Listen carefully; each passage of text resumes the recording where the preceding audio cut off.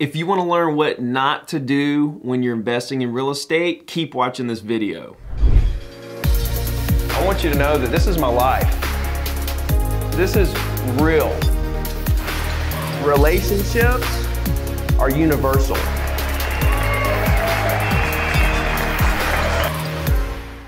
What's up everybody? Ricky Carruth here. Welcome back to my channel. So today I want to talk about real estate investing. Most of my content here on my channel is focused to towards real estate agents and helping them succeed because that's what I do.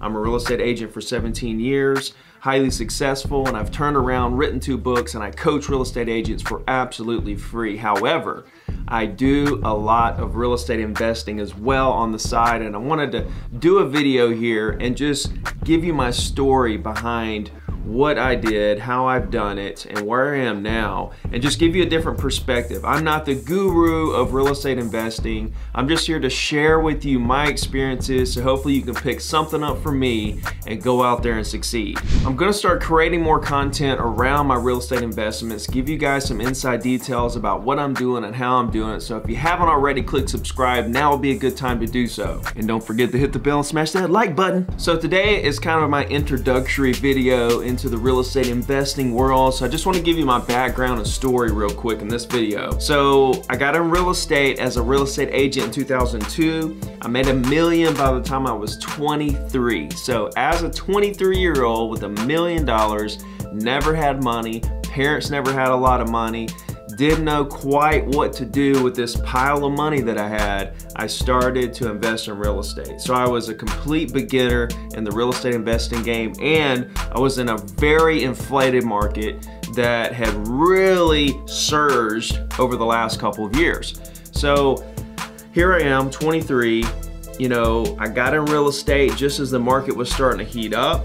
That's why I made a million dollars so quickly because I just was in the right place at the right time. Now I'm thinking back, a lot of people would have said I was in the wrong place at the wrong time, but I feel like I was in the right place at the right time because I made a lot of mistakes, but I learned from those mistakes. And now I'm on the right track, which I'll explain here in a minute. So when the market crashed, I lost everything I had. I was negative, I went bankrupt, sleeping on the couch, slept in my car, went back to roofing houses, working on the oil rig.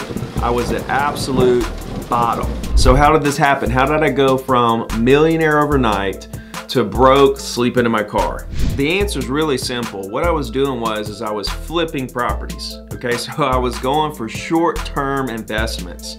I would buy a property, flip it immediately, make whatever I made, 30, 50, 100,000, and I would take that money, roll it into another property, and flip that property really quickly. So I was just short-term investing, and I was borrowing a lot of money. So as this went on, I got to the point where I had several properties that I was flipping at once, okay? And I just kept going and going and going, okay?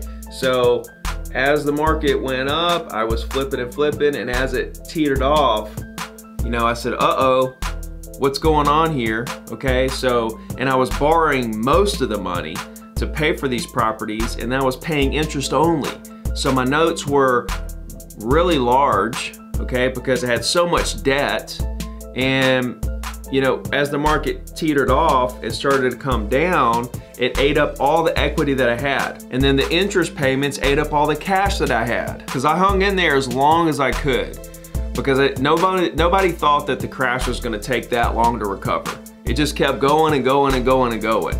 It was just a never ending crash. It was just a never ending recession.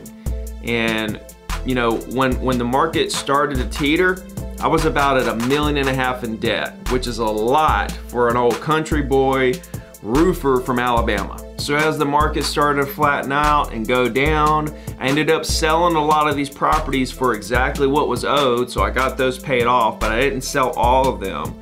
Ended up having to foreclose on some of these properties, and that's how I ended up losing everything. So it was a really eye-opening situation and everybody knows my story that's subscribed and been following me for a while. But during that time, I read 100 books. I, I was really curious of why I failed, and I was really in a search for knowledge to figure it all out. And one thing I figured out in my real estate business was that it could have kept going if I would have valued relationships over transaction. and more focused on the people instead of the deal. And on the real estate investing side, I realized that I was thinking too short term in my investments.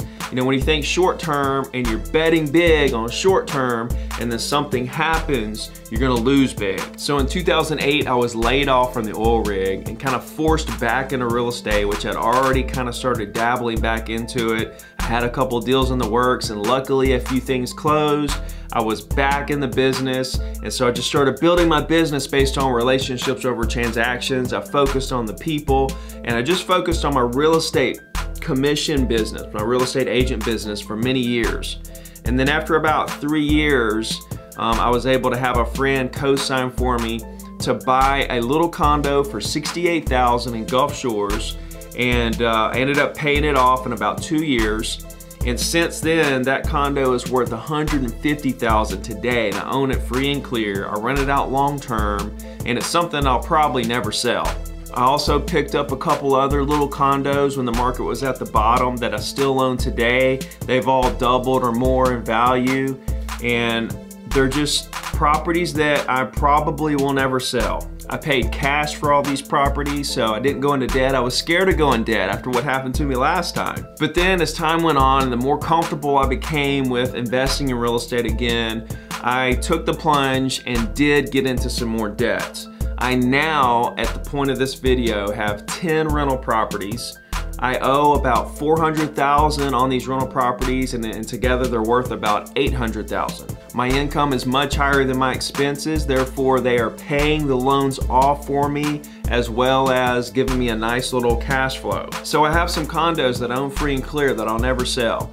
I have 10 rental properties that I owe about half of what they're worth that give me a nice cash flow. Okay, those are all long-term investments for me. I'm just letting them sit there and just build and build and build and build. Meanwhile, I'm looking for more good deals on rental properties. I would love to get those 10 up to 20 and up to 30. I would like to have 30. I guess that would be my goal is to get it up to 20 and then maybe up to 30 and then kind of see how I feel at that point. Of course, it's probably gonna take me a good three or four to five years to get there. I'm just doing it slowly. I'm being patient. I'm not in a hurry. I'm waiting on good deals and good locations. I also like to invest really close to my home. Uh, all of my long-term rentals are actually in Foley, Alabama, which is only about 15 minutes away. So it's a good location. It's where I went to high school and it's oh, far enough away from the beach where it won't really get any hurricane damage. There's no flooding issues. So there's a lot of benefits to being right there in Foley and it's still close to me if I need to go there for something.